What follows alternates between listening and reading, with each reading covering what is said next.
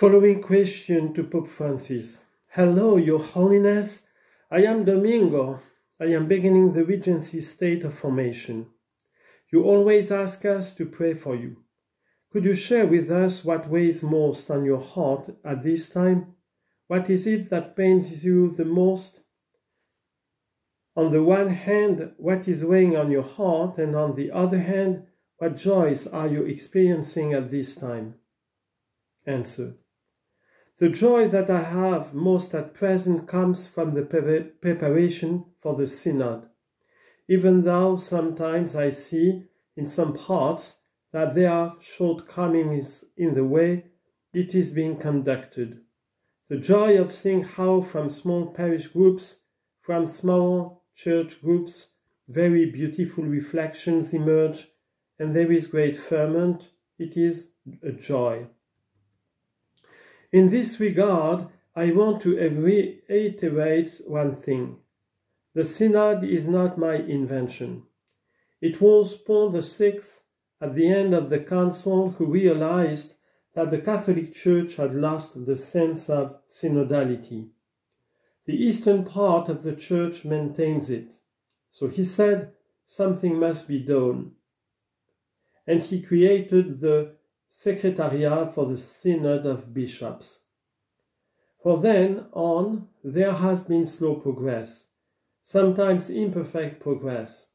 Some time ago, in 2001, I participated as president delegate in the Synod dedicated to the bishop as a servant of the gospel of Jesus Christ for the hope of the world. At the time when I was preparing things for the vote, on what had come from the groups, the cardinal in charge of the synod said to me, No, don't put that in, take it out. In short, they wanted a synod with censorship, a curial censorship that blocked things. On the wood there were these imperfections. There were many, but at the same time it was a path that was being travelled.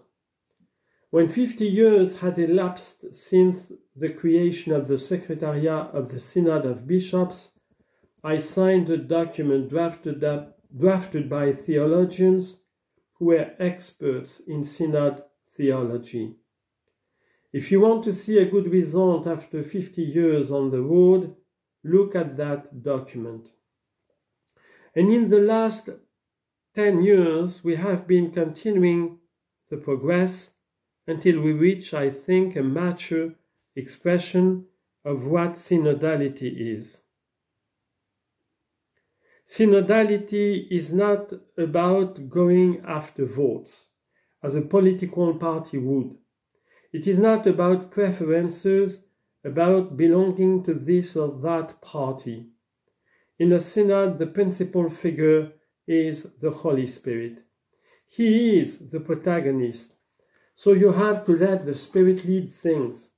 Let Him express Himself as He did on the morning of Pentecost. I think that is the strongest path. Speaking of concerns, of course, one thing that worries me a lot, without any doubt, is war. Since the end of World War II, all over the world, wars have never ceased. And today we see what is happening in the world. It's useless to add more words. Last question. Thank you very much, Your Holiness, for coming to Lisboa. My name is Francisco too. You have really changed the environment of this city and this country, and I would say of the whole Christian world. I was one of the last three to take final vows. I feel very much the awareness of working alongside you. So I ask you, what is our mission as a church, as a universal society, and as a Portuguese province? What role do we have in reaping the fruits of this World Youth Day? Things are really changing. People are really getting excited. What do we need to do in order not to miss the great opportunity the Church has given us?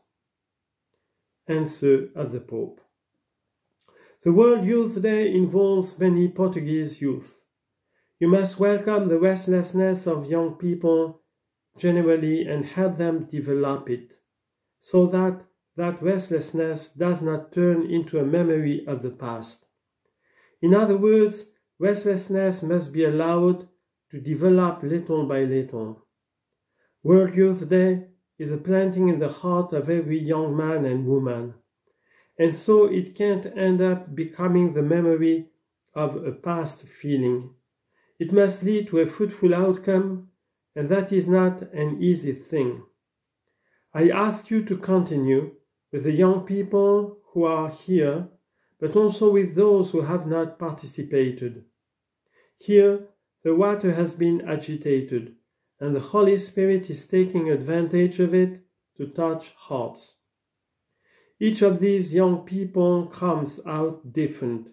This diversity must be maintained. And now it is your turn. Accompany them so that the diversity is maintained and grows. It is time to cast your nets in the gospel sense of the image. Thank you, Holy Father, for coming. May God bless you all.